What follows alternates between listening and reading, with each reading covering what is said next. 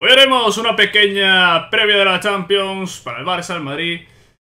Que comienza ya, comienza ya, ¡vamos!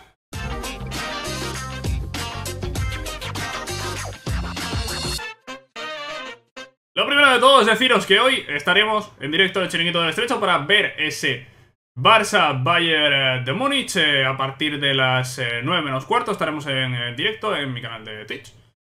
Y ahí, pues nada, pues podréis seguir con nosotros el eh, Barça Bayern del día de hoy. Mañana, por supuesto, también estaremos con ese Inter Real Madrid, también a las 9 menos cuarto, para ver cómo comienzan tanto Barça como Madrid en esta Liga de Campeones, en esta Champions League.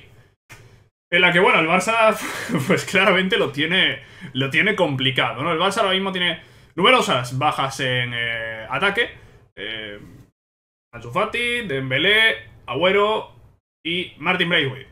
Yo le iba a decir, ¿no? Que iba a ser importante la bajada de Braithwaite, pero este, estos sucesos, estos problemas que tiene el Barça en forma de lesiones, parece que van a llevar a Kuman a volver a apostar por ese 3-5-2 que tanto utilizó la temporada pasada. Había empezado esta temporada jugando con defensa de 4, diría que los tres partidos de liga que llevaba el, eh, Barça.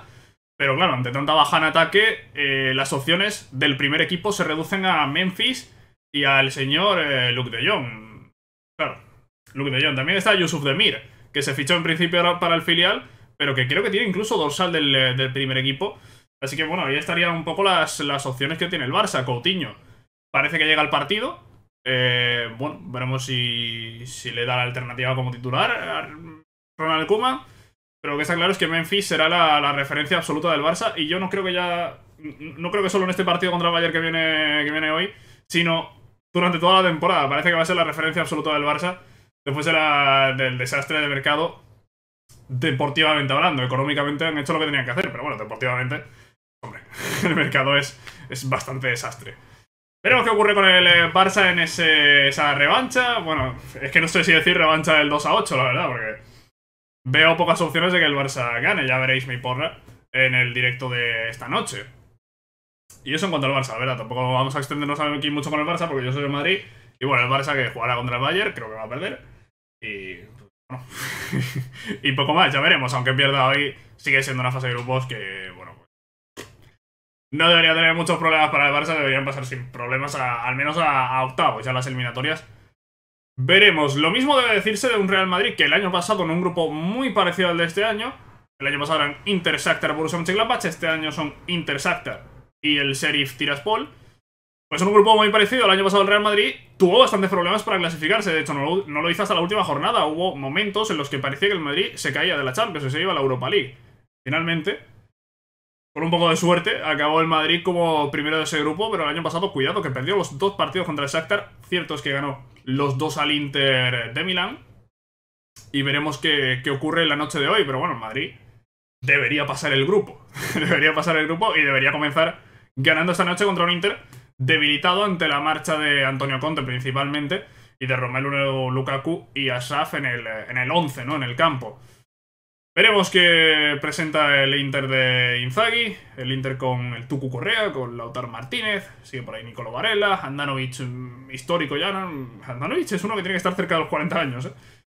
Y nada, pues veremos qué, qué ofrece el Inter en, en San Siro, pero el año pasado, la verdad, los dos partidos contra el Madrid estuvo bastante flojo y el Inter en los últimos años en la Champions no ha rendido bien. De hecho, eh, el año pasado cae incluso eh, eliminado de, Europa. Ni, si cae, ni, siquiera eh, juega después la, Europa League, sino que quedó cuarto en el, en el grupo. Veremos qué ocurre en ese partido, en ese Inter-Real Madrid. Y vamos a ver cuál podría ser el 11. Vamos a echar un ojo a la convocatoria de Madrid y vamos a intentar dibujar cuál podría ser el 11, ¿vale? Sabéis que esto lo estoy haciendo antes de cada partido del Real Madrid y bueno, pues esta vez no iba a ser menos, no iba a ser menos. No lo hice para la cuarta jornada porque estaba de vacaciones, pero el 11 que sacó era el que yo habría previsto. era, era el que yo preveía horas antes del partido. Y esto no, no, lo puedo confirmar de ninguna manera porque no, porque no hice un vídeo, no, no, no, no, grabé ni dije nada, pero, pero eh, bueno, pues podéis confiar en mi palabra o no. Lo que sí vamos a hacer, ver la alineación que puede presentar mañana Carlo Ancelotti en ese Inter Real Madrid. Lo primero, chicos, la convocatoria. Le vamos ahí, Courtois, Lunin, Tony Fuidías. La verdad que no, sé cómo se pronuncia eso, vamos el portero de Castilla. No es relevante. Importante, en la defensa, Carvajal, Militao, Álava vuelve de lesión, Vallejo, Nacho y Miguel Gutiérrez. Vuelve Álava, pero se cae Marcelo, que jugó el otro día. Que jugó el otro día, no sé si 5 o 10 minutos, los últimos 5 o 10 minutos del partido contra el Celta. Lo jugó, parece que tiene molestias. Y tampoco está Fernán Mondí, que entró en la convocatoria para el partido contra el Celta y al final no estuvo en el partido. Es decir, que eh, entre que presentaron la convocatoria para el partido y llegó la hora del partido, pues tuvo que sentir algunas molestias o algo Mondi y se quedó fuera de la convocatoria y tampoco entra ahora en esta convocatoria contra el Inter de Milán. Eh, Mondi, recordamos, lleva lesionado desde mayo. Cuidado, eh. Cuidado, eh. Es una lesión larga. Es verdad que ha coincidido con, el verano, con el parón del fútbol. Del fútbol de clubes, quiero decir. Y, por ahí, pues se ha beneficiado el Madrid. Pero oye, que lleva desde mayo, eh. Que lleva desde mayo. Son cuatro meses ya lesionados eh, para, para Mondi. Y vamos a ver estas molestias, esperemos que no sea mucho, que pueda estar para, el partido de Liga del fin de semana. Bueno, la defensa ahí lo veis. Carvajal, Militado, Álava, Vallejo, Nacho y Miguel Gutiérrez como único representante del Castilla en esa defensa. Centrocampista están Modric, Casemiro Valverde, Lucas Isco, Camavinga y Antonio Blanco. Cross sigue con su proceso de recuperación, de esa pubalgia. Y arriba, Azara, Benzema, Asensio, Jovic, Vinicius, Rodrigo y Mariano. Eh, vuelve Jovic, que no estuvo convocado contra el Celta por unas molestias. Fuera Bale, del que no hay parte médico porque el jugador ha pedido que no se publique el eh, parte médico de su lesión, pero se habla de que puede ser una lesión larga, ¿eh? de incluso dos meses fuera Gareth Bale. No me parece un drama, no me parece un drama porque su aportación en los primeros partidos... Bueno, sí, se le veía un poco más de actitud que en las últimas temporadas, pero tampoco había sido diferencial. Así que, bueno, se cae Bale, tampoco creo que haya que montar ningún drama ni de que sea una situación dramática para el Madrid que Bale esté fuera, la verdad. Eh, jugador en el último año de contrato y que el club lleva ya tiempo esperando que acabe el contrato y se vaya. Tampoco me parece nada dramático que Bale vaya a estar dos meses fuera. Y tampoco me sorprende que Bale se lesione dos meses. Es lo habitual en él. Es lo que hemos visto durante toda su carrera en el Madrid. Que Bale juega tres partidos y se lesiona dos meses. Bueno, es lo habitual. Pues eso, los convocados y este, el 11, que yo creo que puede presentar el Real Madrid. Empezamos por la portería con Diego Courtois, defensa para Carvajal, Militao, el regreso de Álava y Miguel Gutiérrez. ¿Y por qué ha puesto porque se cae Nacho? Pues porque no estuvo bien contra el Celta. Nacho no estuvo bien contra el Celta en salida de balón. En el segundo gol también falla. Es que de hecho los dos goles vienen de... Los dos goles inician en, errores de Nacho, ¿no? El primero, porque da un balón comprometido a Miguel Gutiérrez que acaba fallando un pase. Después Casemiro recupera, se la vuelve a dar a Nacho y, Nacho acaba otra vez regalando el balón.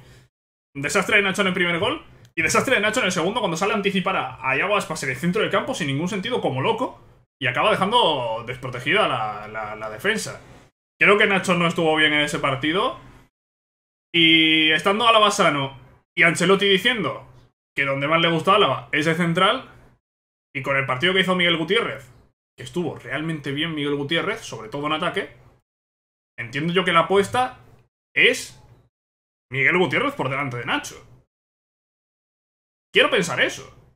Quiero pensar eso, a ver. ¿La alternativa cuál sería? Pues hombre, la alternativa sería, evidentemente, a la lateral izquierdo y Nacho de central. y Nacho de central. ¿Puede darse esto? Por supuesto que puede darse eso. Pero yo creo... Yo creo.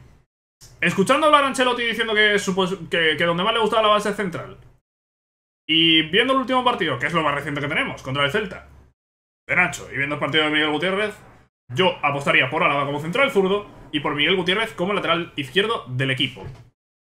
¿Vale? Esta sería mi apuesta para la defensa. El centro del campo me parece bastante claro que va a ser Casemiro, Modric, Valverde. Aquí, aquí he puesto un 4-3-3. Realmente el Madrid no jugó un 4-3-3 el otro día. Realmente el Madrid el otro día... El otro día el Madrid jugó en 4-4-2. el Real Madrid contra el Celta juega en 4-4-2. Casemiro Modric aquí realmente en posiciones centradas con, movilidad. Eh, pero realmente el Madrid otro día juega en 4-4-2. Y Valverde eh, eh, estaba de extremo. Al menos durante la primera parte. Y Vinicius estaba de extremo y era prácticamente 4-4-2 tirando más a 4-2-4. tirando más a 4-2-4. Muchas veces se veía que, que, había una distancia entre líneas, entre el centro de campo y la delantera, brutal. Que estaban Casemiro Modric y después estaba la línea de 4 ya en la, emparejada con, la línea defensiva del, Celta. Eh, a mí no me convenció mucho. A mí no me convenció mucho eh, la primera parte del equipo. Bueno, es evidente, ¿no? El equipo se fue perdiendo al descanso. Y el tema es que no veo que Ancelotti vaya a poner a Hazard en la derecha. Entonces, no sé por qué va a tirar Ancelotti, la verdad. Pero Ancelotti en el partido contra el Celta rectificó, partió con ese 4-2-4, porque era prácticamente un 4-2-4, eh, rectificó, retrasó la posición de, de Fede Valverde, y, ahí el Madrid empezó a conectar mejor, y fue Carvajal el que tuvo la libertad para subir por banda derecha. Pero Hazard es un jugador que se mueve por este sector. Eh, Vinicius, jugador de banda izquierda, pero vamos, clarísimo. Y Benzema, juega por el centro, pero tiende también a tirar a la izquierda. Yo no sé si lo más inteligente quizás sería eh, sacar a uno que juegue por la derecha. Sacar a un extremo que, vaya a jugar por la banda derecha. En esa situación, a mí el que se me ocurre es Rodrigo. Por delante de Asensio, sinceramente. Creo que Rodrigo cuando ha jugado a la derecha no lo ha hecho nada mal. Es un jugador que ha ganado línea de fondo, que ha sacado buenos centros, que eh, conecta bien con, los centrocampistas, que eh, conecta muy bien con Valverde. Lo hemos visto, lo hemos visto mucho, la conexión esa de Rodrigo y Valverde. Y para mí, para mí el equipo sería este. Para mí el equipo sería este.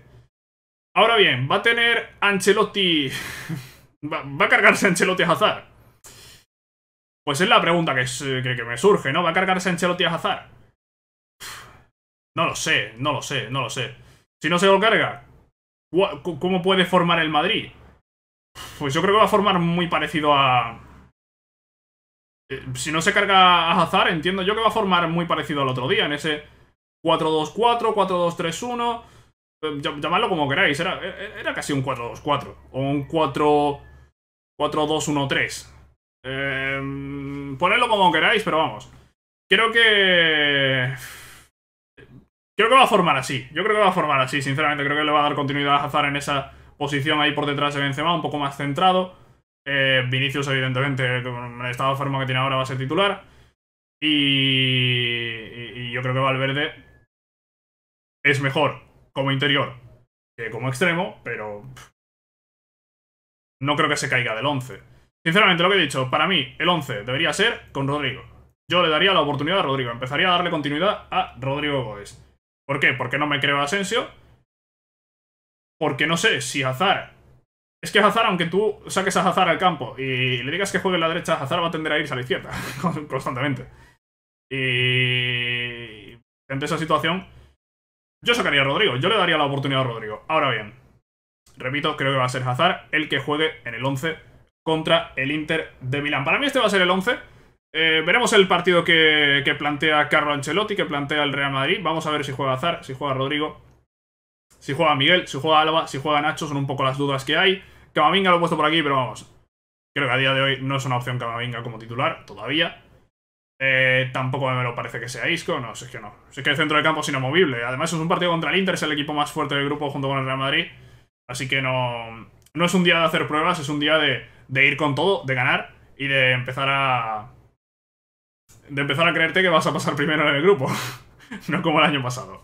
Chicos, por aquí dejamos este vídeo de hoy, un poquito de previa de la Champions, el Barça, Madrid. Un poquito. Mañana haremos vídeo hablando del partido del Barça y pues el jueves haremos uno hablando de, del partido del Real Madrid. Esperemos que sea una victoria, chicos. En directo, hoy, 9 menos cuarto para ver el Barcelona-Valle de Múnich. Mañana miércoles, 9 menos cuarto también, España. Inter, Real Madrid. Chao.